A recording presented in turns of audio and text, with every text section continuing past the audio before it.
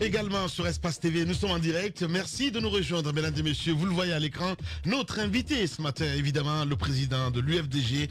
Quand c'est notre invité avec lui, nous allons débattre. Évidemment, il faut le rappeler, la Guinée en route pour renouveler donc son Parlement, dont le mandat a expiré voici un peu plus d'un an. La CENI, l'organe en charge des élections dans le pays, annonce pouvoir organiser donc les élections législatives à, à la date du 28 décembre 2019. Toutefois, le chronogramme des banques conduire donc à cette échéance électorale à fort enjeu politique, il faut le dire, est à la fois contesté de l'intérieur de l'institution électorale et au sein de la classe politique. Au même moment, au même moment, l'attention reste focalisée évidemment sur le débat relatif à une nouvelle constitution. À ce propos donc, justement, les consultations nationales instruites par le chef de l'État viennent de se tenir sous l'égide donc du Premier ministre, mais à l'absence évidemment des ténors, d'une frange importante en tout cas, d'acteurs politiques de la société civile, réunis donc au sein du FNDC, opposés à toute idée de changement constitutionnel donc susceptible d'ouvrir la voie à un mandat de plus donc pour l'actuel locataire de Secouturia. Quelle question ce matin a envie de comprendre. Le législatif donc du 28 décembre, est-ce une date tenable et réaliste? Pose la question ce matin Titi. Pourquoi donc avoir boudé les consultations nationales? Comment lui et ses pairs du FNDC comptent-ils donc le projet d'une nouvelle constitution chère au camp présidentiel. Le président, c'est le Daniel Diallo, est avec nous ce matin chez les grandes gueules, mon cher Titi. Bonjour, monsieur le président. Merci d'accepter notre invitation. Ces derniers temps, vous avez beaucoup euh, bougé, beaucoup voyagé. Euh, vous n'êtes pas resté longtemps au pays, euh, alors que il y a effectivement de, les grandes manœuvres politiques ont déjà commencé à quelques euh, mois ou à quelques semaines donc des, élections législatives fixées au, 29 décembre 2019, et quel est le bulletin de santé de l'UFDG à date? Et dites-nous, qu'est-ce qui vous a fait courir tant? Et c'est le Je commencerai par cette dernière question. Euh, je voyage beaucoup ces derniers temps, mais c'est en raison de mes obligations internationales. Je tiens à vous rappeler que je suis vice-président exécutif de l'International libéral et que dans ce cadre, j'effectue des missions de cette grande organisation qui a des partis politiques membres dans tous les pays du monde. Et je réponds aussi à des invitations qui me, font qui me sont adressées par certains partis membres de cette organisation. En outre, il ne faut pas perdre de vue, j'ai 40 fédérations à l'étranger. Ces fédérations euh, regorgent de militants et très souvent, je suis invité par les fédérations pour mhm. prendre contact avec mes militants de la diaspora. Mhm. Donc, je réponds à certaines invitations des fédérations IFDG de l'extérieur. Euh, je suis aussi souvent invité à des conférences en tant qu'expert, mhm. comme la Fondation Mo Ibrahim, comme euh, le Aldepac, dont j'ai été coprésident, je ne le suis plus. mais souvent, on organise des conférences sur mhm. la zone de libre-échange international, sur l'intégration monétaire, sur les questions de politique monétaire. Je suis dans un certain nombre de groupes de réflexion, mhm. aussi bien en Europe qu'en Afrique, et je suis souvent invité. Donc ça n'a rien de stratégique par rapport à quoi? Mais Par rapport à Par rapport aux enjeux, non, non, par rapport à les enjeux électoraux en Guinée. Oui, mais lorsque je réponds aux invitations d'une fédération, mhm. les, fédérations, par exemple, euh, IFDG des États-Unis, mhm. euh, je viens et souvent ils m'invitent, ils m'envoient le billet, ils me demandent de venir euh, parler avec les militants. Justement, vous avez vu certains disent aussi que c'est pour construire, continuer à construire, à renforcer votre réseau à l'international et un peu partout à travers l'Europe, les États-Unis. Bien entendu, j'ai un carnet d'adresses qui est bien fourni en raison des responsabilités que j'ai occupées dans ce pays. J'ai été Premier ministre et lorsque je l'étais, c'est moi qui représentais le président de la République mhm. de partout dans les institutions internationales. J'étais au sommet des chefs d'État de la CDAO, de la ZMAO, de l'Union africaine, de de la conférence islamique, euh, des Nations Unies. J'étais celui-là qui représentait le président de la République qui ne voyageait pas. Et au cours de ces contacts, naturellement, j'ai des bonnes relations qui me permettent euh, par exemple, d'avoir des rencontres à des niveaux les plus élevés. Euh, votre, position de chef de file de l'opposition guinéenne n'a fait que renforcer votre, votre, votre carnet d'adresse. Alors, est-ce que, est que vous, vous, arrivez à faire la part des choses lorsque vous allez, par exemple, assister à des conférences liées à, toute la thématique que vous venez de brosser? Est-ce que vous profitez pour euh, introduire certains enjeux politiques pour discuter avec les acteurs majeurs de, sur le continent africain et, et, à l'international de la situation de notre pays. Bien entendu. Lorsque je suis et qu'est-ce qu'ils vous disent souvent? Écoutez, attends, d'abord, lorsque je suis arrivé aux États-Unis pour répondre à l'invitation. Deux en un oui, pour répondre à l'invitation des fédérations IFDG, mhm. j'en ai profité pour prendre des rendez-vous au niveau les plus élevés. C'est ainsi que j'ai rencontré la, secrétaire générale adjointe des Nations Unies chargée des questions politiques et de la paix, euh, Madame Rosemary. J'ai rencontré le secrétaire d'État chargé des affaires africaines. J'ai rencontré trois ou quatre congressmen. Mhm. J'ai rencontré des think tanks, des fondations qui s'occupent de liberté et de démocratie. Et naturellement, j'ai délivré le message de l'opposition guinéenne, de l'UFDG, de l'opposition et parfois du FNDC. Parce que mhm. c'est l'actualité, pour expliquer quelles étaient les préoccupations des Guinéens à l'heure qu'il est, face notamment à cette velléité euh, dont on parlait tout à l'heure de M. Alpha Condé. Et, quel, est leur avis en général sur la situation? Qu'est-ce qu'ils vous disent?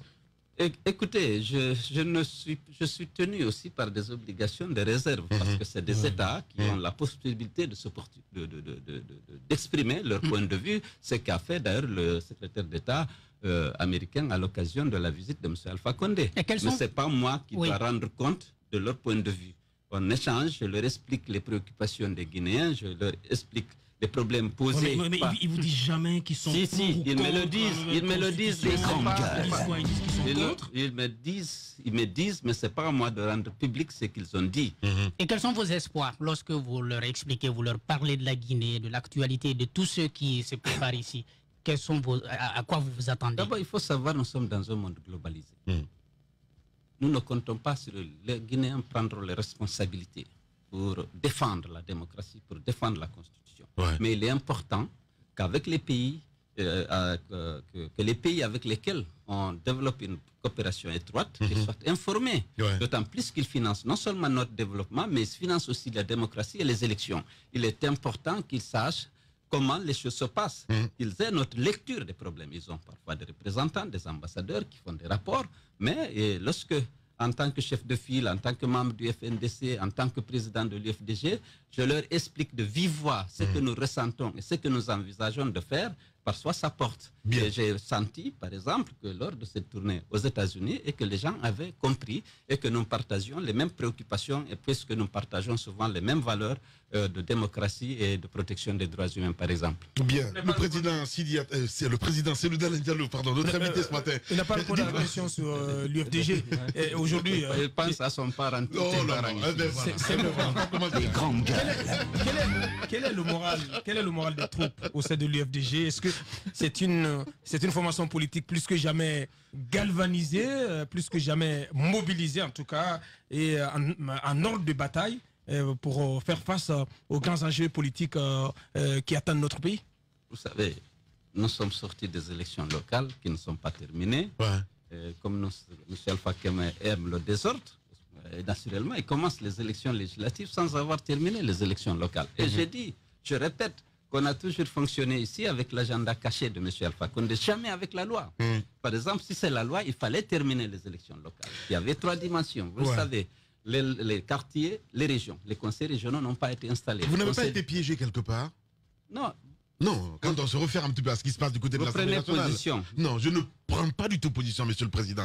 je pose des questions. Oui. N'avez-vous pas, vous, été piégé quelque part? Lorsque quelqu'un ouais qui a, à sa disposition les forces de défense de la, et de sécurité, qui a infouédé la justice, qui a caporalisé la CINI, décide je ne fais pas ça, ils installent des péages, je n'applique pas la loi. Est-ce que vous pensez que c'est un piège? Non.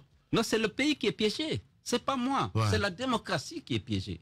Nous avons des lois que nous avons votées à l'Assemblée nationale. Le président a prêté serment de les respecter, de les faire respecter. Hmm. Lorsqu'il trouve que l'intérêt de son parti n'y est pas, il refuse d'appliquer la loi. C'est la Guinée qui est, qui est en otage, mhm. ce n'est pas l'UFDG. Nous, nous avons toujours essayé de respecter la loi. Mais malheureusement, le pouvoir ne respecte pas la loi. Mhm. Lorsqu'il viole à plusieurs reprises la loi, nous manifestons pour exiger le respect de la loi. Mhm. On nous demande de venir au dialogue pour discuter des modalités de, de, de, de faire respecter la loi. Alors, on se met d'accord sur un accord et le président de la République décide de ne pas appliquer mais C'est dans ce sens, justement, je pose non, la question. Non, mais ce n'est pas, moi qui suis piégé, c'est la Guinée qui est piégée. Ah, si vous avez un dirigeant qui n'a pas à cœur de respecter son serment, parce qu'il a prêté serment sur cette constitution, en jurant de la faire respecter et de respecter la loi de la République, s'il fait le parjure en permanence de refuser de respecter cette loi, ce n'est pas l'UFDG qui est piégé ou c'est le DALE, hmm. c'est le pays qui est piégé. Hmm. Parce que La loi est, Donc, est faite. Vous êtes d'accord avec moi que le pays est piégé, que vous êtes piégé Vous Non, êtes piégé. monsieur, euh, euh, monsieur, euh, monsieur, euh, vous tous, nous tous, nous sommes piégés. Alors, alors peut-être que cette question de, de, de Lamine aura tout son sens quand il parle de piège par rapport au- à toutes les décisions qui ont été prises par l'opposition en accord avec le pouvoir quand on parlera plus des questions électorales. Mais déjà, euh, on vous reçoit dans ce studio dans un contexte marqué par la célébration du 28 septembre. C'était, je crois, samedi. C'est deux dates désormais en Guinée et on est en 2019, dix ans après les massacres. Dites-nous aujourd'hui, euh, qu'est-ce que vous attendez? Est-ce que vous avez espoir qu'un jour les Guinéens seront switchés? Mais d'abord le 28 septembre euh, 2000 euh, 1958. Bon, le 28 septembre 20, euh, 1958, notre peuple s'est mobilisé. Il faut rappeler que tous les partis politiques qui existaient en Guinée se sont retrouvés pour décider Ouais. d'aller à l'indépendance Ouais. et de voter non Ouais, à, la communauté proposée par le général de Gaulle. ouais. C'est un acte fort où la Guinée s'est rassemblée pour poser un acte historique. Mhm. Et nous sommes allés à l'indépendance. Il faut en être fier, il faut s'en féliciter. Le 28 septembre a été une date qui a déclenché le processus de décolonisation de l'Afrique.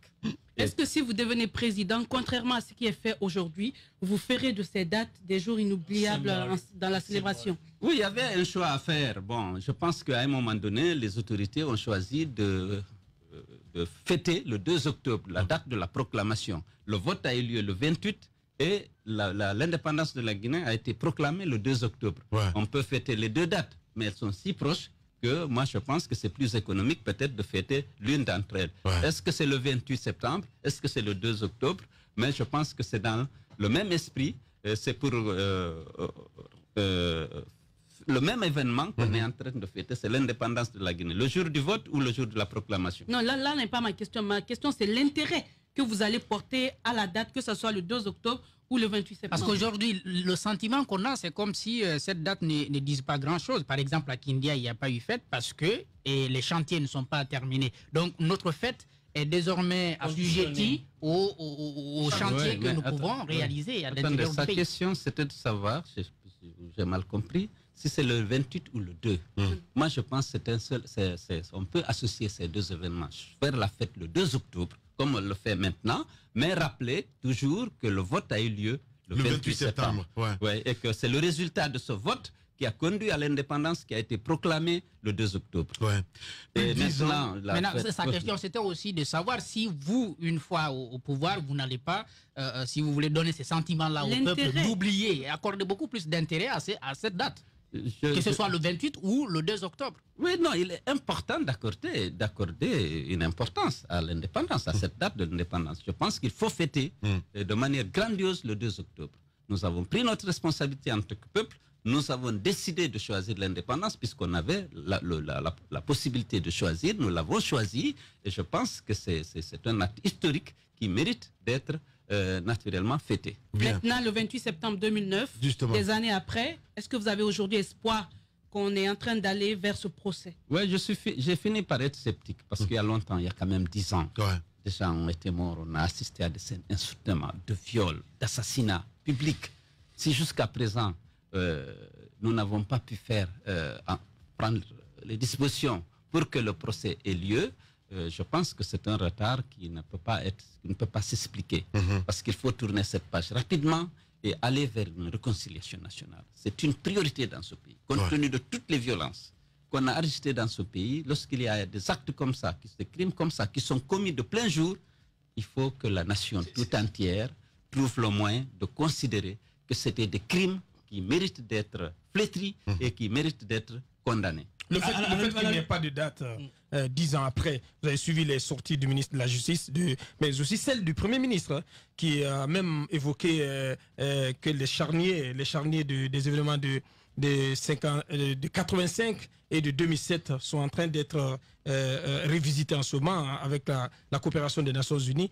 Le fait qu'il n'y ait pas de date, comment vous, vous entrevoyez la suite de, de- de ces événements? Est-ce que euh, vous pensez que les, les autorités n'ont aucune volonté, en tout cas de ce, de ce gouvernement, de cette gouvernance, n'ont aucune volonté de d'organiser ce procès au moment où Alpha Condé sera toujours au pouvoir? Je pense qu'il y a un manque de volonté politique d'aller à des procès. Peut-être pour des raisons obscures, des raisons politiciennes. Sinon, je ne vois pas s'il y avait la volonté politique d'aller de l'avant. euh, qu'on soit encore à ce stade. Je pense qu'il y a un, un manque de volonté politique de la part d'Alpha Condé. Mm. Puisque de toute façon, Cela s'expliquerait par quoi? Ben, écoutez, il faut poser des hypothèses. Je ne sais pas quelle est la plus plausible, mais ce qui est sûr, c'est que soit il ne veut pas se mettre à dos des officiers, ou en tout cas pour des questions politiques. Sinon, on aurait pu faire ce procès et essayer maintenant de s'atteler à la réconciliation nationale. Parce que ce pays est fortement divisé, justement par ces crimes commis ici et là. Mais il faut séparer.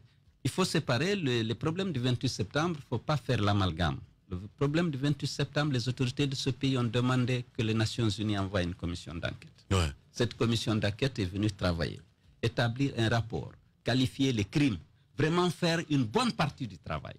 Il restait, il restait aux juridictions guinéennes de continuer ce travail, d'ouvrir le procès et euh, d'établir au moins que c'était des crimes, confirmer les crimes, c'était des crimes contre l'humanité pour que ça se répète plus. C'est ça qui est important. Ce n'est pas que X, Y soit en prison, mais il faut qu'ensemble, les Guinéens se mettent d'accord que c'était des crimes, c'était des traitements dégradants, c'était des, cré- des- des- des- des- des- des traitements inhumains Ouais. que- qui ont été commis ce jour-là et que ça fait honte à toute la Guinée et surtout à leurs autres. Vous avez affirmé sur, sur une, un média de la place que la plupart des victimes de ce, de, de ce massacre étaient de, de votre parti, de, étaient vos militants.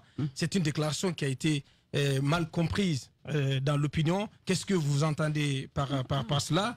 Et deuxièmement, euh, le Premier ministre a, a annoncé que les victimes vont être indemnisées suite à la suite de vous, vous autres qui avez été au stade, vous êtes trois anciens premiers ministres, vous avez reçu de la part de l'État chacun 2 milliards de francs guinéens. Est-ce que vous comprenez la démarche du gouvernement de se dire finalement, puisque trois victimes politiques ont reçu, ont, ont déjà été indemnisées, il faut en faire euh, de même pour tout le monde. Est-ce que vous comprenez la démarche du Oui, gouvernement? euh, écoutez, il faut d'abord replacer cette indemnisation dans ce cadre. Moi, je n'ai jamais évalué ce que j'ai perdu. Il n'y a personne qui a subi autant que moi. On dit que j'aime me victimiser, mais c'était France 24 était dans ma cour. On a vu les dégâts. Parce qu'après le stade, à 14 heures, les gens ont quitté. Alors que moi, j'étais dans le coma. Et vers la clinique, ils sont venus à la maison. Ils ont trouvé là-bas, à Liukonde, beaucoup de cadres. Ils sont accourus, ils sont tous sortis de la maison, ils sont allés à la... Ils ont pillé systématiquement avec des camions. La nuit, à 3 heures du matin, tout ce qu'ils ne pouvaient pas emporter, ils ont cassé les armoires, cassé les lits, tiré sur les tôles, ils ont tout, tout emporté. Même pas une cravate. Ça, c'était connu. Le le lendemain, toute la presse est là, y, compris France 24. Je n'ai jamais rien réclamé. Alors que j'étais en tournée à l'intérieur, on me dit qu'un montant est arrivé sur mon compte. Que les trois premiers ministres dont les domiciles avaient été visités à l'issue de- de- de- des événements du stade, Ouais. pour les, les biens perdus, Mhm. qu'on avait fait des indemnisations. Parce qu'ils étaient Vous n'avez jamais fait une demande dans Jamais, je Ouais. n'ai jamais fait de devis, je n'ai jamais fait de demande. J'ai trouvé, j'étais à l'intérieur, j'arrive, on me dit que l'argent a son compte. Ouais. Ça m'a embarrassé. Parce que j'ai lancé un appel à tous les militants de l'UFDG. Ça vous a embarrassé? Oui, ça m'a embarrassé. Vous aurez pu refuser. Attendez, je vais aurez pu finir. mais attendez, Oui, laissez-moi continuer, finir. s'il vous plaît. Ouais, laissez-moi finir. Allez-y, J'étais embarrassé, je me suis demandé comment faire. Ouais. D'abord, tous les véhicules qui étaient à la maison, il Ouais. y en a beaucoup qui ont garé chez moi. Ouais. Et les motos, Ouais. j'ai remboursé tout le monde sur ce montant. Ceux qui avaient les motos dont on connaissait naturellement les adresses. C'était des militants et des responsables du parti. Mhm. Il y avait des Mercedes de- d'occasion, bien sûr. J'ai dit, pour chaque Mercedes, il fallait lui donner 30 millions. Mhm. Pour les motards, il fallait donner, ceux qui avaient des motos, il fallait leur donner 5 millions. Ce travail a été fait. Le reste, j'ai remis une bonne partie de l'argent à Madame Havadrame, qui a une fondation Fitima. J'ai dit, utilisez ça pour aider les gens en difficulté, les victimes du 28 septembre. Ouais. La dame est là, elle a, son, elle a sa fondation, elle est là. C'est ce que je fais, c'est à mon âme et conscience. Ouais. Je n'ai pas consulté les gens, mais ça a été utilisé pour des victimes Mhm. euh, de les 28 septembre. Madame Hawadrame est là. Elle a une fondation qui s'appelle Fitima. Vous pouvez l'inviter et l'interroger. Ouais. Oui, mais, à l'époque, euh, peut-être que euh, on, on va dire c'est à l'État de décider. Mais est-ce que si vous aviez porté, n'est-ce pas, cette revendication pour permettre justement à ces victimes d'être indemnisées Il l'a jamais fait, vous, il l'a dit. Oui, Moi. il, il- il- il ne l'a pas fait. Vous faites, j'ai dit, s'il l'a- s'il l'avait fait, Ouais. est-ce qu'il y aurait eu aujourd'hui euh, cette doute-là Au- au- au- Et pour- pourquoi vous ne l'avez pas fait? Parce qu'aujourd'hui, ce sont les victimes elles-mêmes qui demandent à être indemnisées Attendez. et l'État répond. Oui, attendez. Il y a deux choses. Moi, je suis sorti de la Guinée dans les conditions que vous savez. Exfiltré. Difficilement. Le président Ouad a fait un comité de crise au palais de la présidence à Sénégal. Toute la nuit, Saïd Zinit était là, l'ambassadeur de France à Dakar était là, celui des États-Unis était là. Négocier avec la jeune pour qu'on puisse me laisser sortir. Parce que ma clinique dans laquelle était était entourée. Et lorsqu'on a eu la, la- la place au niveau d'Air France pour m'évacuer, docteur Mariga faire les formalités, on a confisqué mes documents et on l'a arrêté. Il a fallu le libérer après pour dire que Ça, je ne suis pas autorisé. Ça, c'était en Attends. 2009, monsieur le En président. 2009, Mais- attends, oui, attends, attends. Mais la suite des événements. Oui, attends, la suite des événements, je ne suis rentré en Guinée qu'en mars 2000, euh, 2010. Parce que j'étais en traitement à Paris. Ce qu'on vous reproche, c'est que Oui, jusque-là, au cours des dix dernières années, c'est les victimes elles-mêmes qui mènent ce combat. Oui, Jusqu'à ce que la dernière oui. fois, leurs avocats demandent à ceux qu'on continue l'indemnisation. Ce discours-là n'est pas venu de vous, les leaders. Oui. C'est c'est- c'est- c'est Oui, de cela il est oui, question. Oui, bon, peut-être. Parce qu'on est venu, on est, moi je suis rentré, c'était déjà la campagne. Je suis rentré en 2010. De septembre 2009 jusqu'à mars 2010, j'étais en traitement Mais à Paris. oui, parce ce que ce que Jacques je, je suis venu, la campagne avait commencé et puis on est rentré dans cette Oui, mais campagne. ce- ce- la question de Jacques a tout son pesant d'or parce que jusqu'aujourd'hui, les victimes, les victimes du 28 septembre, euh, sont dans la position que les leaders les ont oublié la question de leur indemnisation, donc ont un peu mis aux oubliettes leur combat, attendez. le combat lié à, à, à elle. dans les associations des victimes que j'ai soutenues, même avec ce montant, pas des sommes importantes lorsqu'ils avaient des manifestations. Je faisais des chèques pour les aider, Ouais. mais c'était à l'association, dont moi-même je suis membre, Ouais. de faire cette revendication au, au niveau de, au niveau de, de, de- l'État.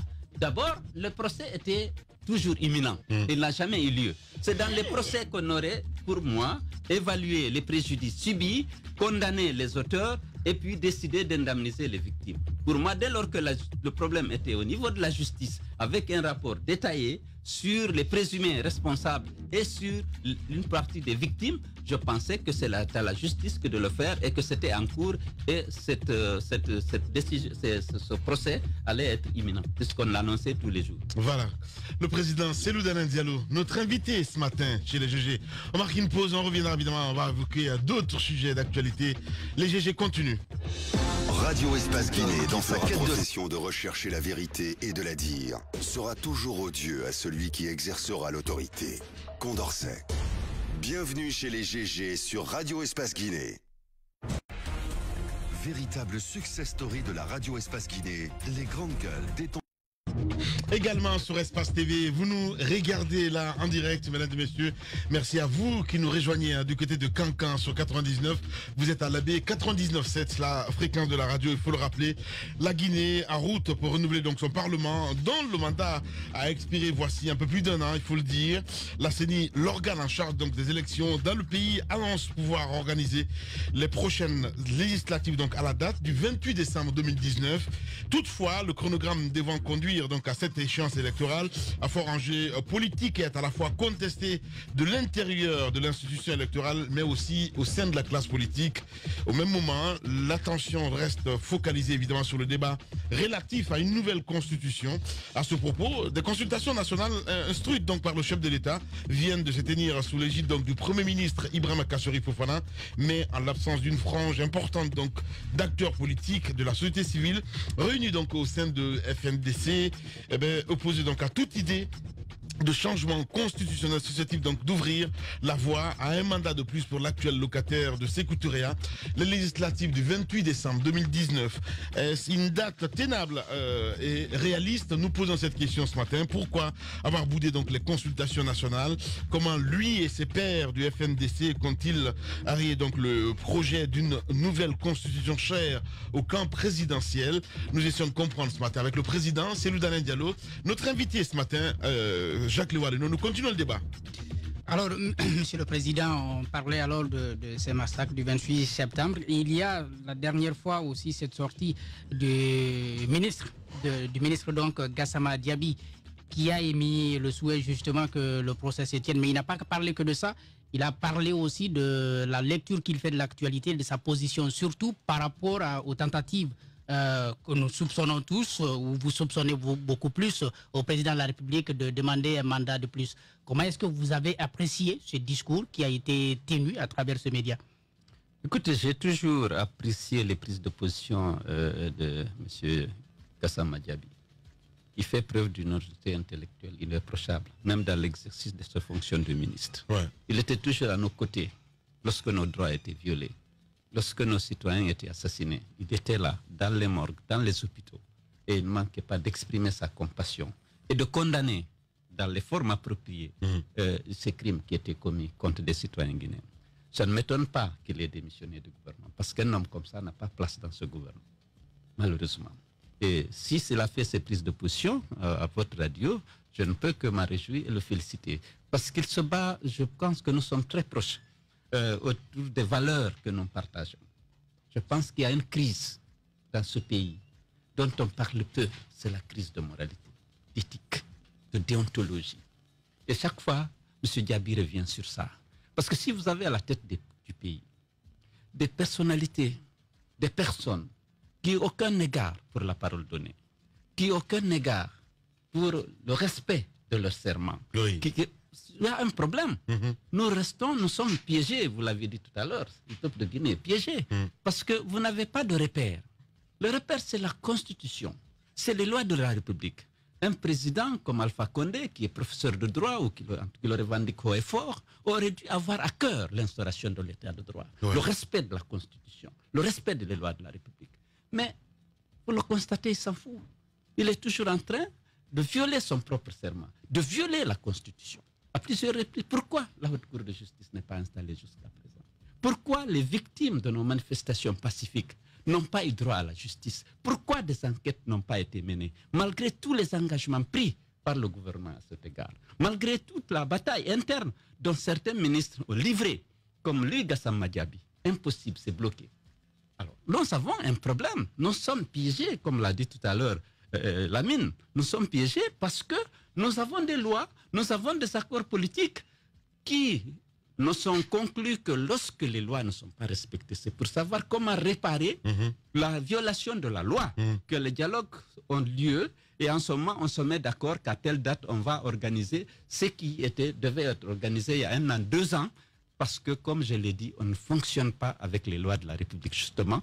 Par La faute d'Alpha Condé, on fonctionne avec son agenda caché et c'est lui seul qui sait quand est-ce qu'on organise les élections. Alors que le mandat des élus, y compris, le- sont définis par les lois de la République. Mais on ne respecte jamais les élections législatives, les élections locales et tout cela.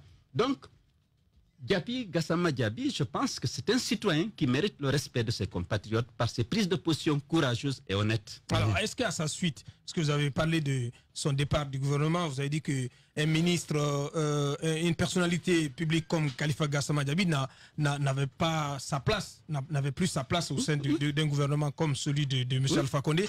Alors, est-ce que vous pensez qu'à sa suite, il y a encore des ministres au sein de, de l'attelage gouvernemental? Qui, euh, de par leur probité morale, de par leur engagement en faveur de la démocratie et de- des principes de- d'état de, droit, euh, euh, non plus euh, peuvent encore euh, suivre, euh, faire, euh, comment on appelle ça, être dans, dans- emboîter le pas à M. Khalifa Gassama. Est-ce que vous en connaissez dans ce gouvernement qui Non. peuvent, qui peuvent s'illustrer de cette façon? Non, Mais on les attend.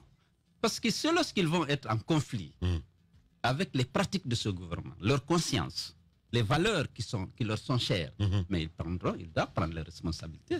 Et- et- mais le ministre Sako, qui a fait beaucoup d'efforts pour s'adapter à la situation, et je le lui ai dit, a fini vraiment par céder, par démissionner, parce qu'il n'était pas en accord avec sa conscience. Peut-être il y en a, s'il y en a, mais ils ne manquent- tarderont pas à se manifester, parce qu'on ne peut pas continuer à accompagner des choses lorsque c'est contraire à ses propres valeurs, c'est contraire à ses propres convictions. Bien.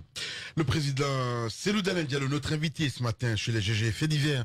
On parle de, de l'agression d'un avocat par un agent de votre garde rapproché, monsieur le président. Est-ce qu'il y a eu des sanctions? Oui, absolument. C'était vraiment un incident malheureux que j'ai déploré, j'ai condamné fermement et Ouais. j'ai pris des sanctions disciplinaires à l'endroit de l'agent et de son chef direct. Et je me suis rendu chez l'avocat pour présenter mes excuses et dire que ça, ce n'est pas vraiment de l'UFDG. Que- Quelle est la nature de ces sanctions? La nature de il est, il est, il est suspendu jusqu'à nouvel ordre de toute activité dans, le- de- dans- de- de- Au sein de votre garde. Voilà. Euh, le président de la République vient de d'un long séjour aux, aux États-Unis accompagné d'une bonne brochette de, de, de, de- de ses, de ses collaborateurs. On a assisté à, à une guerre de communication entre FNDC est, partisan de, pour, pour, la nouvelle constitution, mais aussi euh, euh, la communication présidentielle et, et, les différentes rencontres que le président a eues. quelle approche, monsieur le président de l'UFDG, avez-vous Quelle analyse faites-vous de, de, de, ce voyage qui finalement n'avait que trop duré, hmm. selon certains observateurs? Euh, écoutez, vous et moi, on a suivi ça à distance. Hein. Nouveau, c'est que M. Alpha Condé a dit alors qu'il était aux États-Unis, il a invité les gens à se préparer pour le référendum.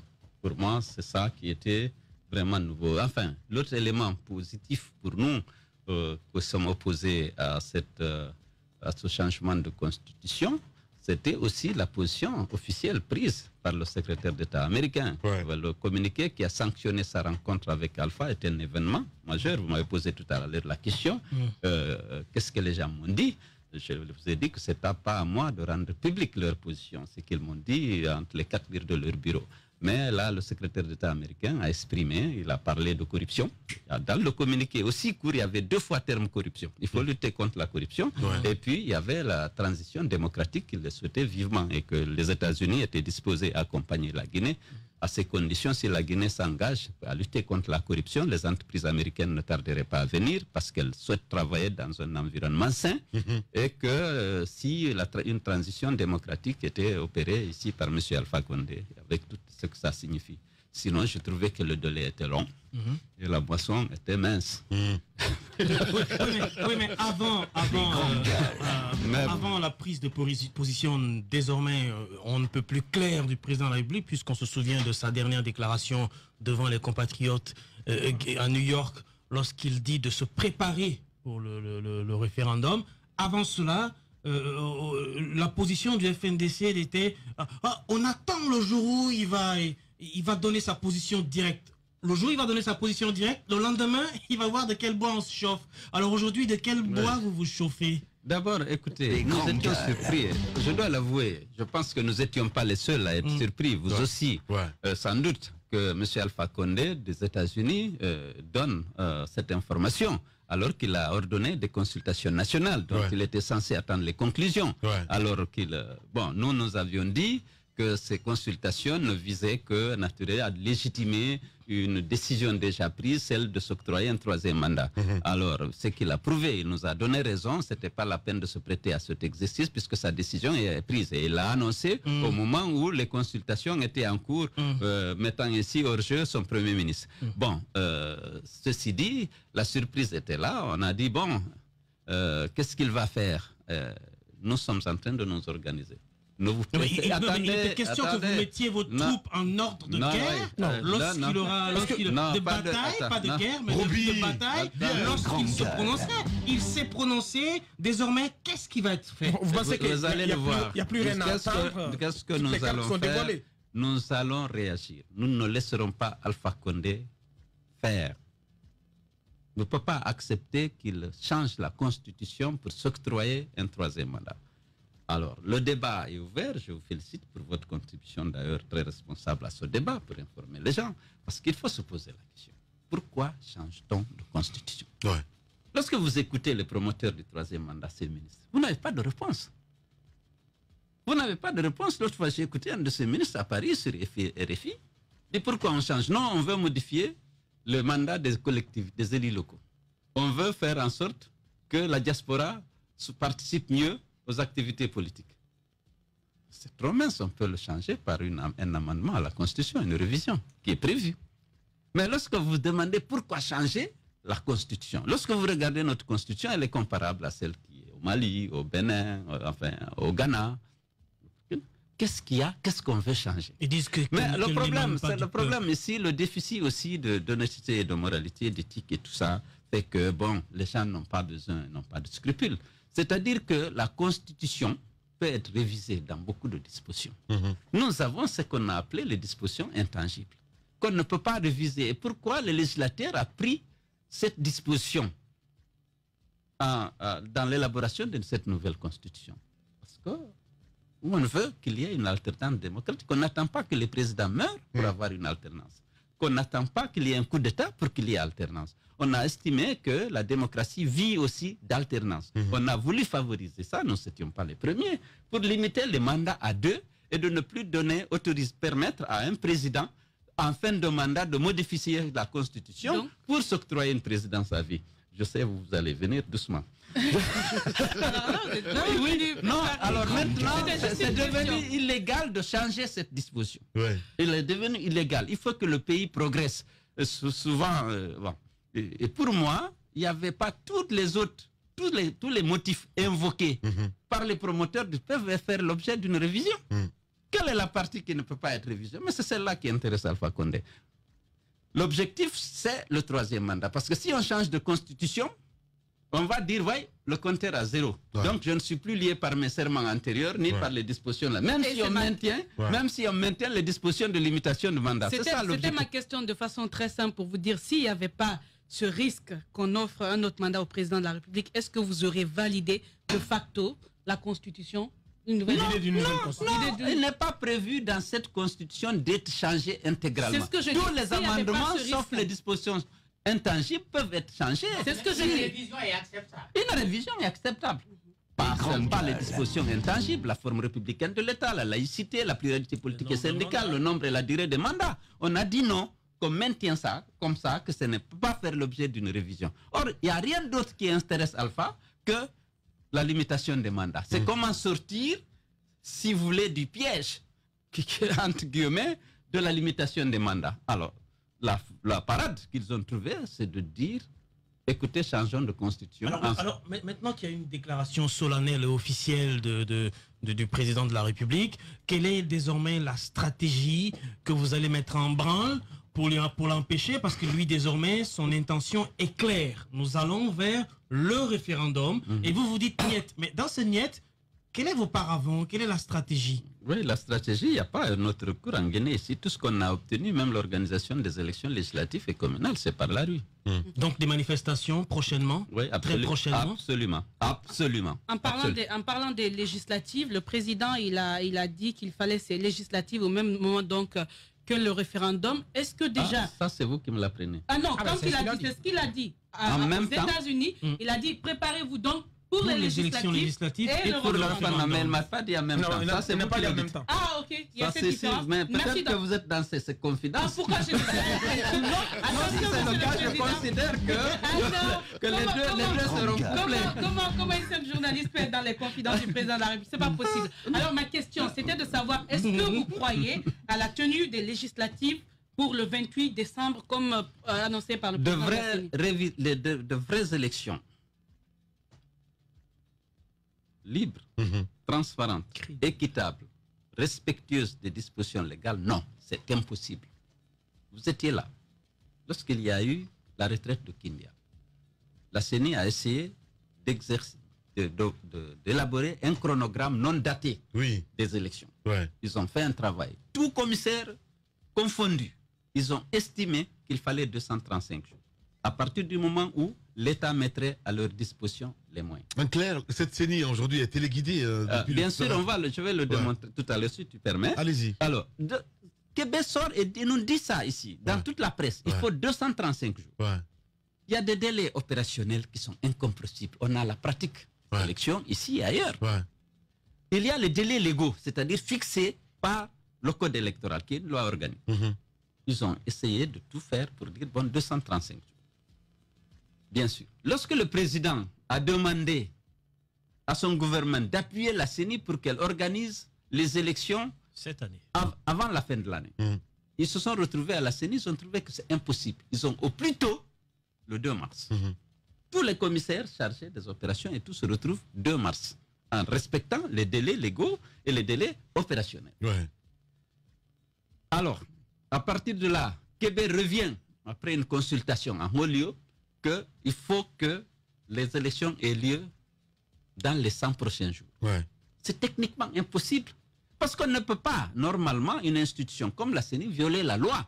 S'il y a un consensus, il y a une procédure de dérogation qu'on peut obtenir lorsqu'il y a la- un consensus sur la place. Oui. place politique. Il a dit non. Par exemple, prenons simplement le délai d'affichage Mhm. permettant à tous les électeurs de s'assurer qu'ils ont leur nom. Le législateur a prévu 45 jours. C'est ça qu'il y a. eh, pardon, 15 jours. Mm. Il a dit non, qu'on va faire 5 jours. Il y a les recours pour se faire inscrire. Il y a le recours même à la justice au cas où on n'arrive pas. On ne... Tout ça, des délais légaux sont prévus dans le. Ne respecte pas ça. On dit par exemple que on va, on va. L'opérateur dit qu'il livre le, le logiciel le 1er octobre. Le 18 octobre, pour Québec c'est terminé, le logiciel est déjà introduit dans l'équipe et les kits sont partis. Ça ne ressemble à rien. Il y a tellement de choses absolument absurdes dedans. Aujourd'hui, hier, ils ont fait, ils avaient fait les, les, les, les, carles. Ils ont fait les tableaux, les carles par circonscription. Ils ont envoyé les, les commissaires de la CENI pour l'instant. Depuis lors, il y a quatre tableaux de carles qui sont sortis pour chaque service. On change le nombre.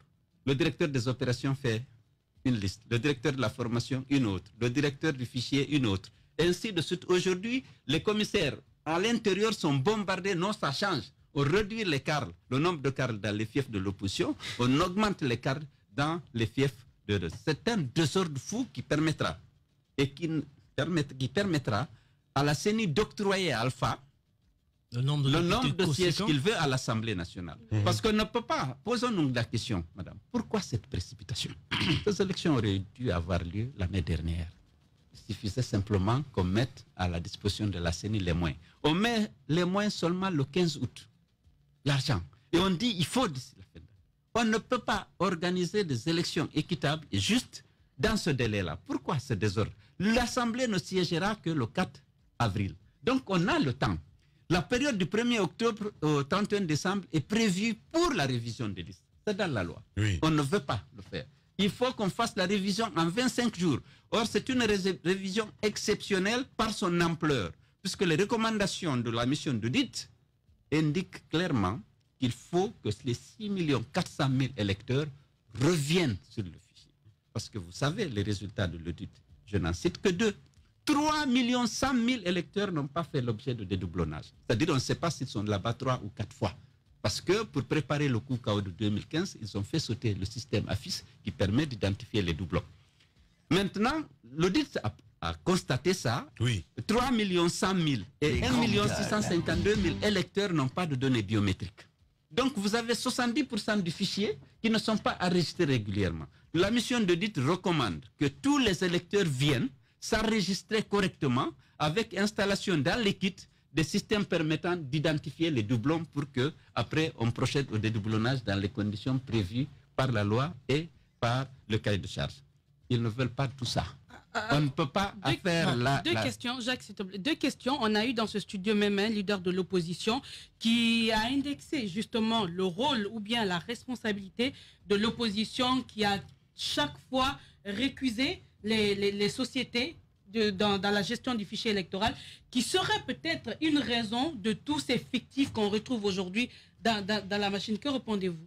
Alors, quel est le lien que vous faites mhm. entre une revendication de l'opposition qui veut que l'opérateur soit recruté à la suite d'un appel d'offres et suivant un cahier de charge mhm. réel mhm. et le fait qu'il y ait des doublons? Au niveau de la CENI, qu'il y a des... Je vous rapporte, je vous rapporte la réaction de, de, de, ce membre de l'opposition qui a expliqué que oui, vous aviez aussi un rôle à jouer parce qu'à chaque fois, c'est l'opposition qui dit on n'est pas d'accord avec telle machine. C'est pas de moi, je vous le rappelle. Non, non, non, non, mais vous savez que la CENI a responsabilité des élections. On a marché ici, protesté contre les, le recrutement dans des commissions opaques de Weimar. Parce qu'il n'y avait pas d'appel. Il n'y avait pas de cahier de charge. On a des amis de Alpha lui ont dit on te recommande cette société, prends-la. Il venait d'être élu, pour lui son pouvoir était limité. Il a imposé à Bakary, de, la, la CENI, de recruter Weimar. Il l'a recruté. On a protesté cette, cette manière de faire. Il n'y a pas de transparence. Mais c'est là, à partir de là, de dire que l'opposition est complice, si, si c'est parce qu'il y a eu cette revendication qu'il y a des doublons ou des trillions dans le, dans le fichier, ça n'a pas, ce n'est pas possible. monsieur le Président, malgré tout, vous dites non, mais vous dites oui. Parce que d'une certaine façon, vous participez à tout ce qui est en train d'être fait. Parce que les travaux actuels sont destinés à tenir les élections au deal de Québec le 28 décembre 2019. Et vous avez non seulement participé à la mise en place des démembrements de la CENI, hum. et vous êtes en train de participer à la mise en place des CARL. Oui, oui, nous sommes en train de, euh, de participer à la mise. Pour le moment, la décision de quitter le processus n'est pas prise, mais nous sommes en train de recenser toutes les anomalies. Mhm. À un moment donné, naturellement, on se retrouvera au niveau de l'opposition politique pour savoir quelle attitude de tenir, parce qu'il s'agit... Pour l'instant, c'est pas décidé. Non, nous avons participé, nous avons, avant même que la date ne, fixe, ne se fixée, euh, le, au 28, on a participé effectivement à la mise en place des démembrements de la CENI. Et nous avons participé pour le moment à, à l'installation des cartes. Nous n'avons pas pris la décision de boycotter les élections à ce stade. Mais nous sommes en train d'accumuler, de recenser les faiblesses et les anomalies qui sont en train de se multiplier. Et puisqu'il y en a tous les jours, Mais déjà, et on- le moment venu, je ne peux, euh, l'opposition politique se retrouvera pour prendre une Mais, mais décision. déjà, il y a un chevauchement grave sur le calendrier qui a été énoncé par, par Maître Québec. Vous-même, vous savez que techniquement, euh, ce n'est pas tenable. Alors, quel autre argument supplémentaire avez-vous besoin pour vous prononcer? À date, tout le monde Non. sait que c'est impossible techniquement. C'est impossible techniquement, mais attendez, on va voir que c'est impossible. Kébé même sait que c'est impossible. C'est parce qu'Alpha lui a dicté que les choses, il fallait que ça soit le 28. À Kébé même et tous les commissaires qui ont de Donc, l'expérience. pour Sa- l'instant- sachant que c'est impossible, vous participez à titre d'observatoire, à titre de recensement des problématiques, ou euh, vous attendez le moment venu pour dire que nous, nous quittons? Le processus. Écoutez, ça dépendra de l'évolution parce qu'eux-mêmes, ils se rendent compte que c'est, ils vont se rendre compte que c'est impossible. Ouais. Alors déjà, il y a eu beaucoup de, de, de, de, de, de, de tapage, de- c'est quand même un rôle Le un peu. Permettez-moi de, de- d'insister là-dessus. C'est quand même un rôle un peu ambigu euh, que, que vous, que vous avez, vous, les partis politiques de l'opposition. Vous avez un processus, un calendrier énoncé par la CENI. Tout le monde sait déjà qu'il y a eu un chevauchement de plusieurs dates sur ce calendrier-là. Et bien avant, vous étiez d'accord que même le calendrier, s'il commençait à date, selon ce qui a été énoncé par Maître Québec, était pas, n'était intenable. En plus de ça, nous avons toutes ces anomalies, mais vous dites quand même que vous participez et vous attendez le moment venu pour quitter. Est-ce que c'est pas un peu un rôle un peu Non, ambigu je que même vous pas dit. Vous avez envie de partir, vous n'avez pas envie de partir. Quel est votre positionnement réel aujourd'hui de- du je processus sais que la réalité va prouver qu'on a raison, qu'on ne peut pas organiser les élections le 28. Si, entre-temps, les gens se rendent compte que, puisque même, je, je suis convaincu que Kobe même sait que c'est impossible, on va se rendre compte que c'est impossible. Si c'est le cas, on va modifier la date et si on peut reprendre correctement les opérations, il n'y a pas de raison qu'on ne participe pas. Donc, Mais à ce stade, à ce stade, nous n'avons pas pris la décision de quitter le processus. Et, et- et, euh, convaincu, Même si nous sommes convaincus que c'est impossible de tenir cette date, mais combien de fois on a fixé des dates ici sans que- qu'elles ne soient tenues Donc, pour l'heure, vous ne boycottez pas, hein, si je comprends très bien. À ce stade, les élèves. non. À ce stade, pour l'instant, la décision n'est pas prise. On va essayer de s'intéresser. euh, au, au fichier, à la révision, toujours dans le cadre de ces élections, hein, la question du, euh, du, du fichier électoral, la question de l'opérateur technique.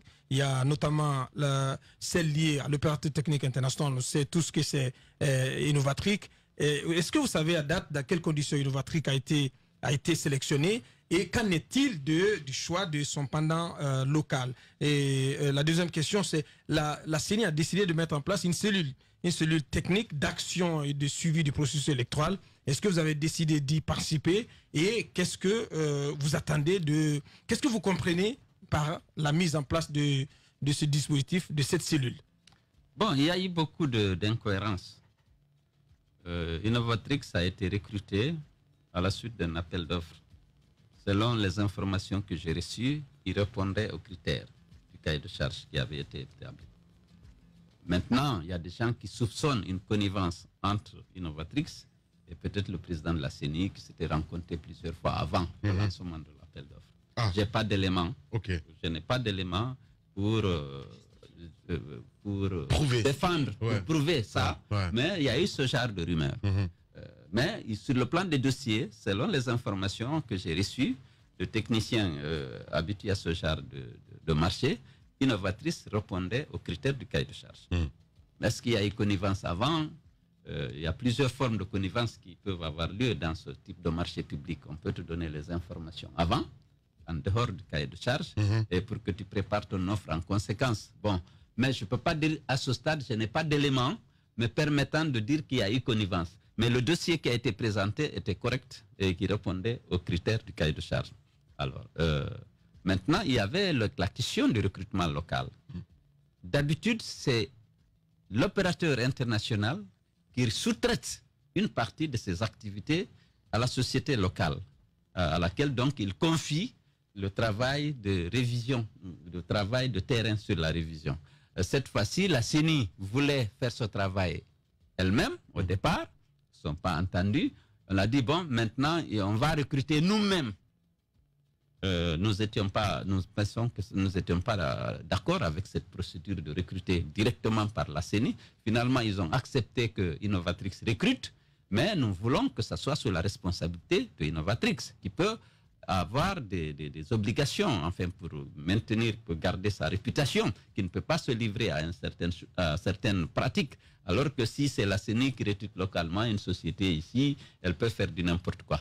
Il y a beaucoup de, de- de- de- de tests. Vous craignez un retour de Sabari Technologies Euh, non, bon, enfin, je ne sais pas, je n'y ai pas pensé. Euh, ce, qui est, ce qui est fondamental, ce qui est fondamental pour nous et qui peut être la cause de la rupture, c'est la révision du fichier. Oui. Si les recommandations de la mission d'audit ne sont pas appliquées, Les grandes comme on a tendance à le soupçonner, parce que la CENI a élaboré des fiches dont on ne voit pas du tout l'utilité. Ce n'est pas consensuel, ni à la CENI, ni en dehors. Ils disent qu'il faut d'abord identifier tous les électeurs. Ils ont fait 6 400 000 fiches qu'ils vont distribuer.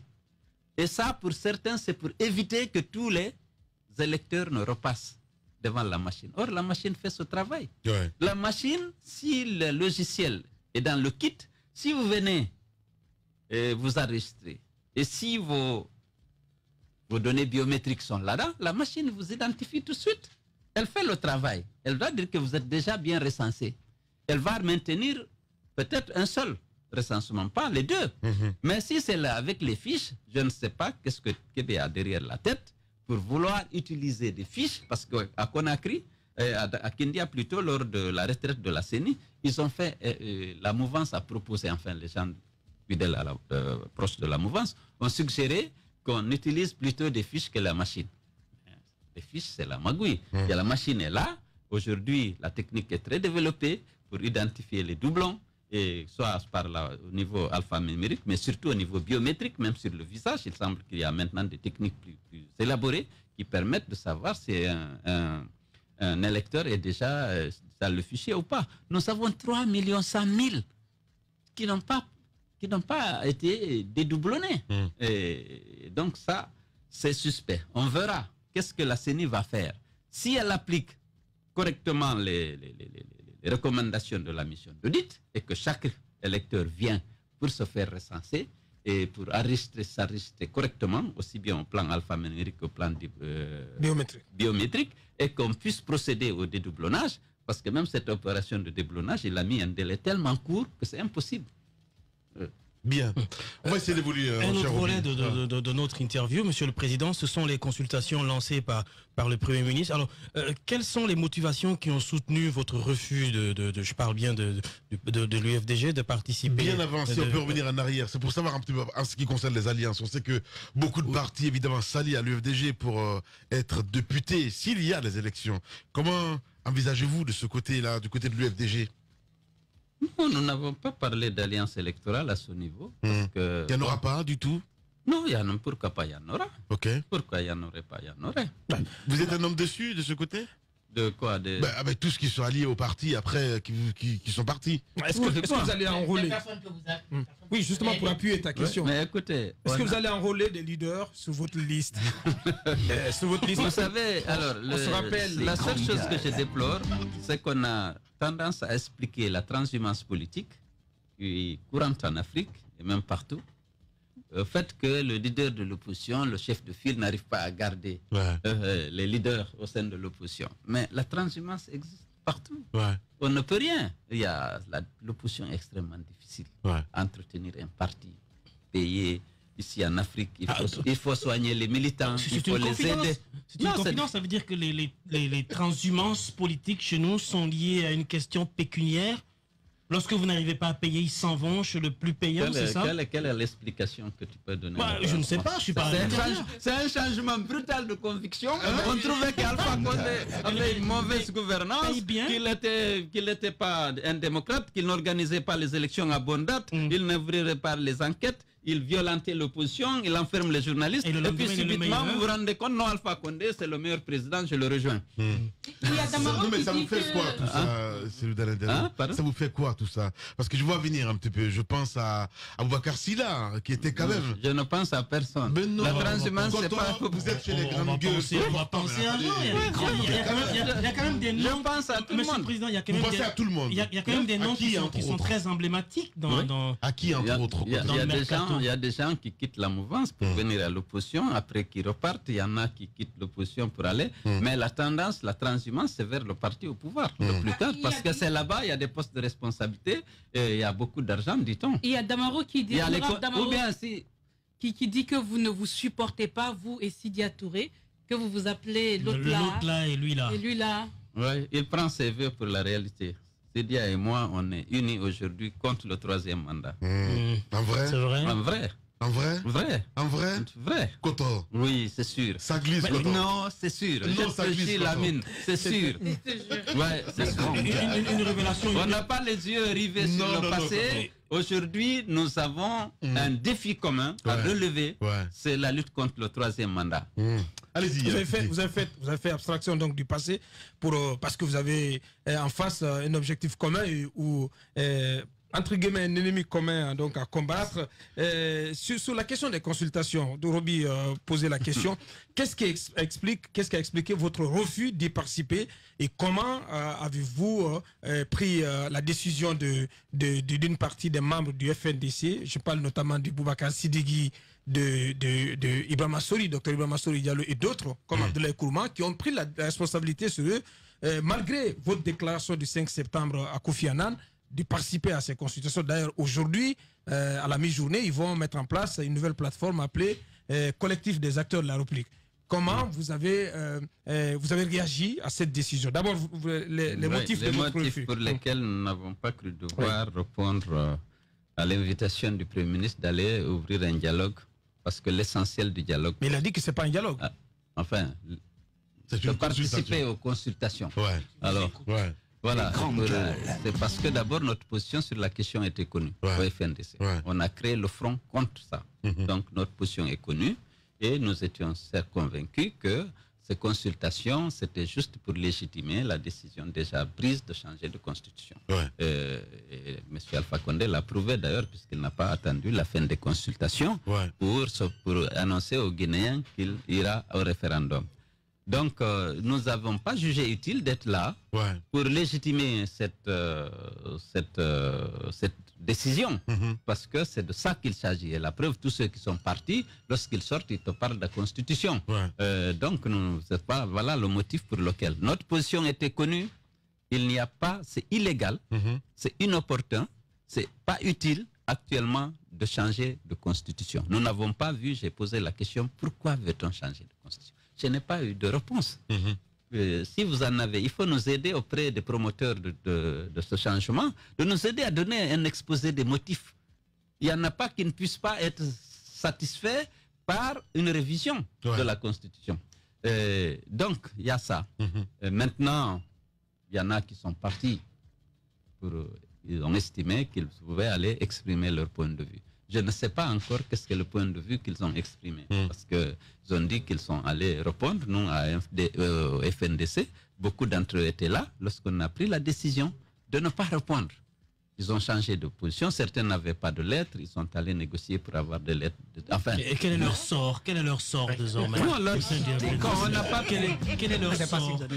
non, c'est eux qui déterminent leur On sort, parlé- mais On a parlé d'exclusion, Non, on n'a pas statué. On n'a pas statué au niveau du FNDC quel est le sort qu'il faut leur réserver? Mais Nous allons nous retrouver. Ce n'est pas l'urgent. L'urgent, c'est de préparer naturellement les manifestations. C'est ça. Maintenant, qu'est-ce qu'on va faire d'eux Euh, Vous le- pensez pas qu'ils peuvent Ben, le- vous pensez pas qu'ils peuvent un- une, une autre plateforme. Ça, ça veut dire que. Oui, mais alors, par rapport à la plateforme, vous savez, il y a eu le FAD.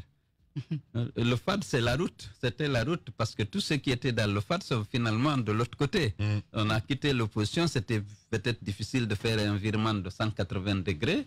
On est allé à une étape pour critiquer le fonctionnement de l'opposition. Et puis finalement, un à un, tout le monde est parti à la mouvance. Bon, on attend de voir s'ils vont créer une plateforme. Si c'est resté au centre, si c'est rester dans l'opposition ou c'est rejoindre la mouvance. Vous On verra les prises vous- de position. Justement, est-ce que ça relance pas le débat sur cette facilité au niveau de l'opposition, cette main tendue au niveau des hommes qui quittent la mouvance? Dès qu'ils quittent la mouvance, c'est comme si on faisait trait sur leur passé et on dit qu'ils sont les bienvenus à la- à- à l'opposition. et ça, c'est en prenant le risque qu'ils puissent retourner parce que c'est quand même des hommes qui ont prouvé de par le passé qu'ils sont pas. non, je pose la question. oui, parce que ils viennent facilement, ils sont Ouais. bien accueillis. Oui. Et ils, viennent, ils deviennent tout blancs quand ils quittent. Mais si c'est pour rejoindre l'opposition, ça va.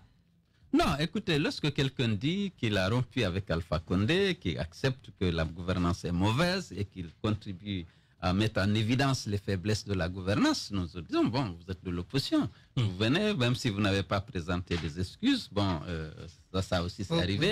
Mais non, on dit, bon, vous êtes dans le combat.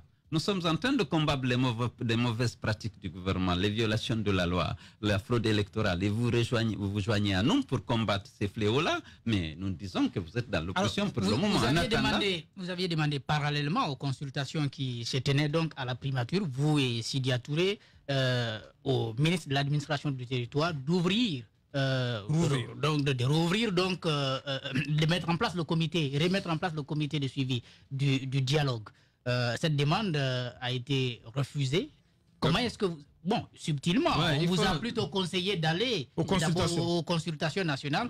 Comment est-ce que vous avez réagi Et aujourd'hui, quelles sont vos attentes Est-ce que vous tenez toujours à ce que ce comité-là reprenne ses activités Écoutez, il faut d'abord savoir que le comité de suivi a été mis en place en 2016 à l'issue du dialogue politique qui a été sanctionné par l'accord politique de 2016 qui prévoyait l'organisation des élections législatives et l'organisation des élections communes. Oui. Et il est dit que ce comité de suivi restait en place jusqu'à la fin des élections législatives Ouais. et qu'il devait examiner tous les malentendus, toutes les divergences qui naîtraient de l'organisation des élections.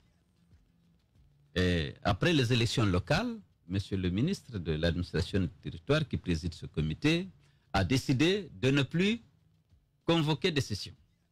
Parce que ce qu'ils étaient en train de commettre euh, comme euh, crime, comme euh, délit au niveau électoral lors des élections locales, ils ne pouvaient plus le justifier.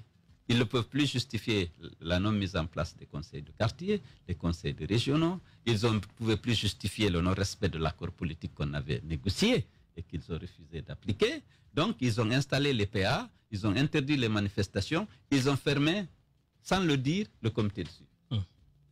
Donc, tout espace de dialogue a disparu. Or, le comité de suivi est mis en place jusqu'à la fin des élections. Nous avons demandé qu'une session soit convoquée pour que nous puissions exprimer peut-être nos, nos griefs par rapport au chronogramme et par rapport au processus électoral. Ils ont dit non, le dialogue maintenant, c'est au niveau de la primature. Non. C'est vrai que le, le- le- le ministre des Affaires, le, ministre, le Premier ministre est chargé de la promotion du dialogue politique et social. Ouais. C'est évident. Mais la mise en œuvre, c'est pas avec lui qu'on dialogue. C'était question, il y avait une structure qui était mise en place pour discuter des détails de, l'application des recommandations de l'audit, par exemple, parce que c'est au comité de suivi que l'audit a été commandé. Et, commandé et les partenaires qui siègent au comité de suivi ont accepté de financer euh, euh, l'opération et de mettre à disposition de la Guinée les experts. Donc, ceci dit, c'est là aussi... la question, la on- question de la cellule technique. Je, je vous renvoie toujours à cette question. Beaucoup pensent, dans l'opinion des observateurs, pensent que euh, vous la demande de réouverture du comité de suivi n'a plus son sens de- à partir du moment Non. où la CENI a installé une cellule Non. technique qui regroupe vous, euh, partie de toutes les mou- mouvances, Ouais. mais aussi les partenaires Non, impliqués dans le processus. La cellule, la cellule mise en place par la CENI ne reflète pas la parité qui a présidé à la mise en place de la CENI. Si vous regardez, on a affecté beaucoup de fonctionnaires. Alors que la CENI, il y a un représentant de l'administration sur 17. Il y a sept représentants de la mouvance, sept représentants de l'opposition. Plus maintenant, la société civile, deux. Alors, toute structure qui devait être créée dans le cadre du processus électoral pour aider, appuyer la CENI devait respecter ce principe de parité. Oui. Maintenant, on a mis beaucoup plus de sept fonctionnaires, ministère de l'administration du territoire 2, ministère de la justice, ministère de la opposition 1, mouvance. C'est- là, en mettant la CENI, non seulement pour diriger la commission, le représentant, le vice-président représentant de, de la mouvance à la CENI, deuxième, euh, vice-président, le représentant du MATD, en excluant de l'exécutif de cette liste complètement l'opposition. Or, la parité qui a présidé à la mise en place de la CENI et a été aussi utilisée pour la mise en place même de l'exécutif de la CENI. Il y a le président société civile et deux vice-présidents, un issu de l'opposition, un issu de choses. Donc tout cela procède du souci de M. Kobé d'obéir aveuglement aux instructions de M. Alpha Condé pour favoriser la mouvance. Parce que l'opposition est de façon minoritaire, puisque vous, les fonctionnaires, vous savez, ici nous sommes dans un parti État, qu'on le dise ou pas, tout ceci représente la mouvance. Et c'est un déséquilibre qu'on n'a pas manqué de dénoncer. Voilà, on a que 10 minutes, hein, les gars. Ah, oui, alors certaines, certaines organisations, et, et, non des moindres, se sont déjà mis à plat ventre suite à, à l'ouverture de, ces, consultations et à la célèbre déclaration de New York. Je veux parler de, certaines organisations de la société civile, des syndicats et des patrons qui ont déjà exprimé sans confusion leur soutien à la nouvelle constitution. Est-ce que ça réduit un peu votre marge de, marge de manœuvre au sein du FNDC Non, tant que l'espace ne met pas à plat ventre, on a de l'espoir. On a des grands Donc, mais, bon, écoutez, vous savez, tout ça, malheureusement, Gassama Diaby l'a dit, il n'y a pas de conviction. C'est souvent par l'argent, l'opportunisme, la recherche des faveurs du pouvoir qui ont présidé à ces prises de position. Et c'est ça le déficit grave dans notre pays. Ce déficit de moralité, de probité, d'éthique. On a le déficit énorme d'infrastructures, les déficits macroéconomiques dont on parle. Mais la refondation de l'État passera par vraiment la, la, restauration de ces valeurs essentielles qui font la grandeur des pays, des grandeurs de civilisation, l'honnêteté intellectuelle, le courage, l'éthique. Mais ici, tu peux tout obtenir avec l'argent, malheureusement, ou avec des promesses souvent fallacieuses, hélas. Et là, moi, je dis, tant que espace et d'autres, euh, d'autres médias, d'autres citoyens sont encore, restent à l'abri de ces choses-là, refusent de se mettre à plat ventre, l'espoir est permis. Alors, il y a Baouri qui est aujourd'hui à la tête d'une formation politique. Est-ce que euh, au sein de l'UFDG, vous regrettez pas l'UDD, oui. Est-ce qu'au sein de l'UFDG, vous regrettez par moment d'avoir refusé d'accueillir Baouri, d'ouvrir les, portes à Baouri Écoutez, ça c'est un problème du passé. Vous connaissez le conflit, il est né lorsqu'il y a eu un partenariat qui a été connué entre Alpha et lui alors que nous étions dans l'opposition. Aujourd'hui, on n'en parle pas, ne revenons pas sur ça. Nous avions tourné la page Baouri dès qu'il a décidé de travailler avec Alpha étroitement. Ce n'était pas un secret pour personne, vous le savez.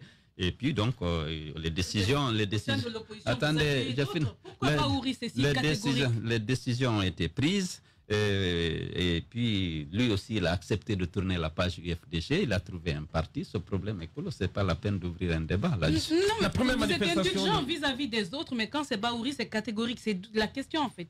Non, non, c'est catégorique parce que Baouri était dans le parti. Il avait trahi le parti pour aller travailler avec Alpha Condé. Le pardon oui. Ouais, euh, la première manifestation, il, se susurre, que la première manifestation du FNDC pourrait être euh, à partir du 7 octobre. Confirmez-nous euh, cette information. Et vous avez dit, Alpha Condé n'entend qu'un seul langage, celui de la rue. Et comment vous allez mettre à nouveau dans la rue vos militants, vos soutiens, pour faire barrage à ce projet de nouvelle constitution, dans un contexte où il y a des PA, hmm. notamment sur l'axe. Le, le, gouvernement avait promis d'étendre la mesure sur d'autres parties de Conakry. Cela n'est pas, pas intervenu. Même à l'intérieur du pays, j'entends. Vous allez faire face, vous allez faire face au PA installé le long de l'axe? Est-ce que d'abord, je voulais qu'on essaie de débattre parce qu'il faut aider nos auditeurs. Pourquoi les PA Pourquoi l'interdiction de manifester? Parce que ça, c'est une violation grave de la Constitution. Mais Aujourd'hui, Alpha Condé peut tout se permettre. Euh, les PA sont à Thomas, nous le, savons. ils sont peut-être ailleurs. Mais les Guinéens sont déterminés, l'UFDC est déterminé, l'opposition est déterminée. On mènera notre combat, croyez-nous. Je ne peux pas vous confirmer une date, il appartiendra au FNDC de confirmer. Et pour l'instant, je n'ai pas le mandat ni de confirmer une date, ni d'infirmer une date. Euh, mais soyez sûr que les PA ne nous empêcheront pas d'exercer. La, semaine dernière. je pense et j'espère. Même pas peur. Que les, oui, que les PA, c'est des militaires, c'est des fils de ce pays. Hum. Il faut qu'ils prennent conscience aussi de leurs responsabilités. Nous n'avons pas besoin de ça. Aujourd'hui, les priorités devaient être ailleurs, pas au niveau de débat sur la cause. Oh. Regardez l'état de nos infrastructures, l'état de nos villes, le système éducatif, la santé, les conditions de vie des populations. voilà des choses qui mériteraient d'être débattues. Aujourd'hui, nouvelle constitution. Pourquoi? Juste pour donner à Alpha Condé la possibilité de s'éterniser au pouvoir. Ça, va faire l'objet d'un autre débat. Euh, pour l'instant, nous avons envie d'avoir votre avis sur la dernière sortie médiatique du ministre de la Sécurité, puisque vous parlez de manifestations. Lui, il dit se préparer à reprimer mhm. désormais. Oui, on a, vous savez, à la veille du 28 septembre 2009, c'est le même discours qu'on entendait.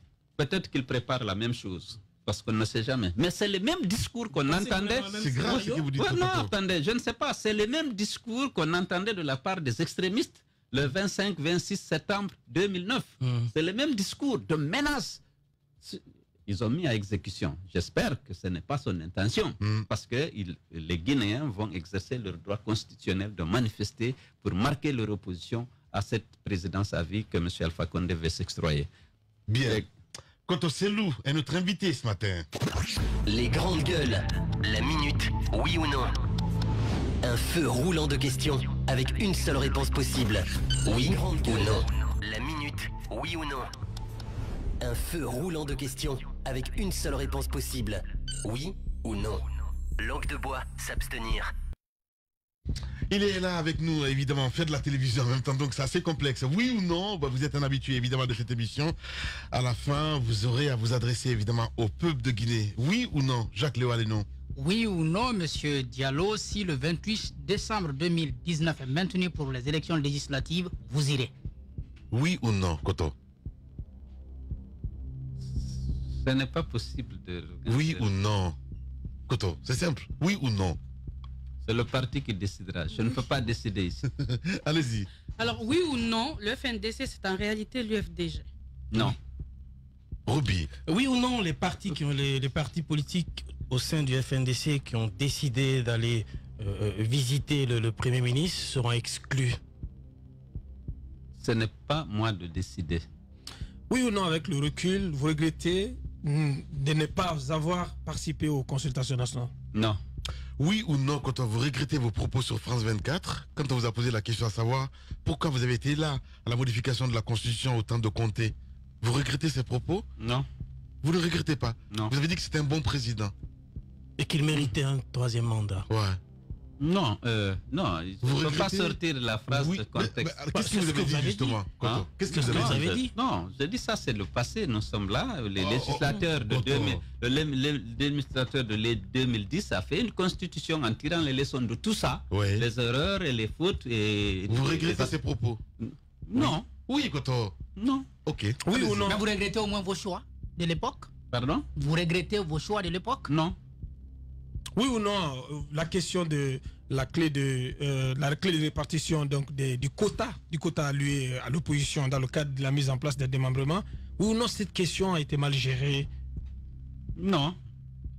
Bien. Allez-y ma frère. Oui ou non si c'était à refaire vous auriez retourné les 2 milliards au compte des indemnisations après le 28 septembre? Non je les ai bien utilisés au profit des victimes.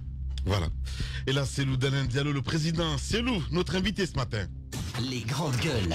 Le jeu des photos, une perception, une idée, des photos, une pour définir un leader d'opinion, une personnalité politique guinéenne, une personnalité politique guinéenne.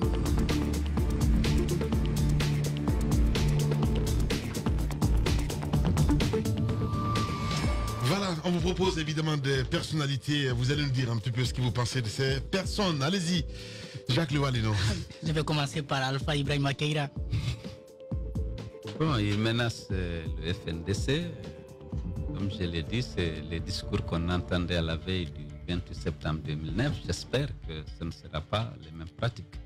Abdul Kabele Kamara Abdul Kabele Kamara, c'est un grand frère qui a pris ses responsabilités, a décidé de quitter la mouvance pour rejoindre l'opposition. C'est des gens à encourager qui privilégient leurs convictions aux honneurs et par rapport aux honneurs et aux intérêts. Malgré qu'il se murmure que la position euh, euh, devient de plus en plus versatile. Pour, échanger. oui, je ne suis pas au courant. D'accord. Si c'est le cas, on est habitué. Tibou Kamara. Tibou, c'est un ami de longue date. Pas plus. Pas plus? Oui, ah, il est Sa position actuelle, il se, il Je se ne, murmure connais, je, ne, je ne connais pas sa position actuelle, il se mais murmure c'est un aussi qu'il serait qui est... l'intelligence des deux discours, celui du président de la République et du Premier ministre, qui a appelé à la consultation. Jeu de photo, possible. Je, Ouais, je vois. je, je ne sais pas quel est son rôle ou sa position actuelle. Jungle. Jangel, c'est un, c'est un petit frère, un militant de l'UFDG, un responsable de l'UFDG, euh, qui malheureusement est victime d'injustice et forcé à l'exil. Kassouri Fofana? Kassouri Fofana ministre. fut un ami. euh, Fut? oui, il fut un ami. Il est plus aujourd'hui? Non, il y a, savez, le- la politique, c'est le cimetière des amitiés. Ah bon Ça veut tout dire. Sidi Atouré. Sidi Touré, c'est un allié euh, aujourd'hui fortement engagé avec moi dans la défense de notre constitution. C'est Ah, un pilier important du FNDC. Malik Sanko.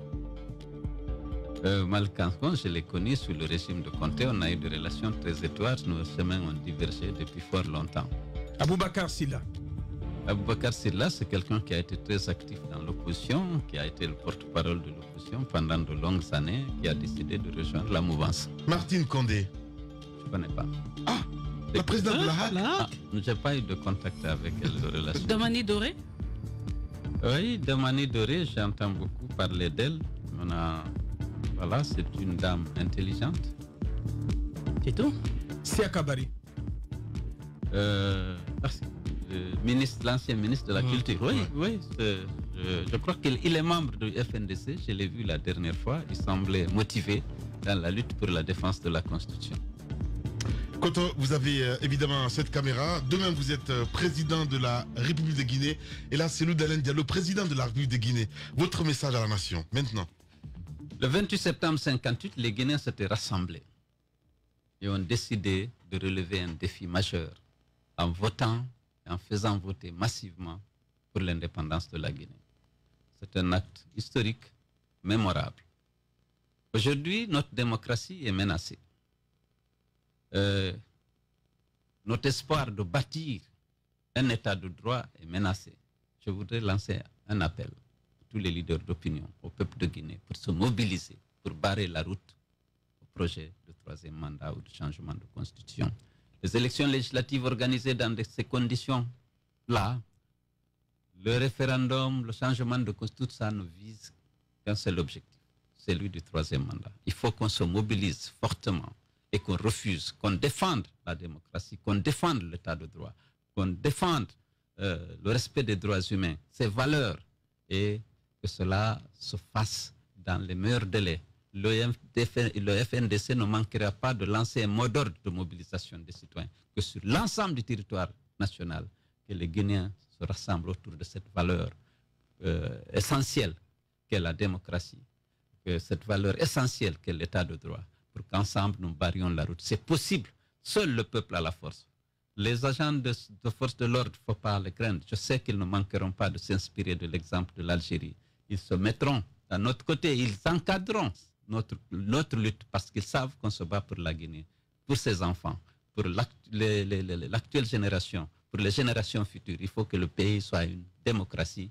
Il faut que notre pays se développe et qu'on puisse sortir les gens de la misère pour qu'on améliore nos infrastructures, qu'on crée de l'emploi pour la jeunesse. Il faut une autre politique pour la Guinée, pour qu'on arrête cette corruption, qu'on arrête cet enrichissement, cette, cette course à l'enrichissement et que la démocratie, l'état de droit, la protection des droits humains soient assurés dans notre pays. Merci beaucoup, euh, Cotocello, d'être passé. Peut-être euh, vous aurez euh, euh, aimé répondre à une question qu'on n'a pas posée dans l'émission. Une question que vous allez vous poser vous-même et que. Alors, c'est. Je ne sais pas, c'est madame qui a dit tout à l'heure qu'on réduit, euh, que, que les gens disent que le FNDC, c'est le FDG. Où Ouais. mettez-vous Sidia Touré, euh, Lansana Kouyaté, Payami Limono, Kabele, Elhaj Mohamed Silla, euh, Dr Ousmane Kaba, tous ces leaders politiques. Si vous regardez aujourd'hui, la Guinée sait que c'est que ce qu'il pèse au sein de l'opinion, la crédibilité dont ils jouissent, le poids électoral, les capacités de mobilisation. Vous allez dire que le FNDC, quand même, est une force redoutable. Et je pense que ce n'est pas l'UFDG, c'est pratiquement toute la Guinée. Vous occupez, vous écoutez les leaders d'opinion, comme il a dit Sekouna, vous écoutez les imams. Aujourd'hui, cette affaire de troisième mandat mobilise, au-delà des partis politiques, mobilise les citoyens. Parce que vous écoutez des journalistes de l'espace en train de poser des questions pertinentes aux promoteurs du troisième mandat, de les coincer même, pas avec les pas, mais vous sentez que cette affaire de troisième mandat concerne toute la Guinée. Voilà. Merci beaucoup, hein, d'être passé chez les Grandes Gueules. On a terminé ce matin, mesdames et messieurs. Dans un instant, sur Radio Espace, vous avez rendez-vous avec Arnaud Bécher pour euh, Zik, laisse passer la matinée. Et sur Espace TV, c'est Antoine Kourouma que vous retrouvez évidemment avec euh, son émission Club de l'actu en mode rediffusion. Demain, on se retrouve pour un autre numéro.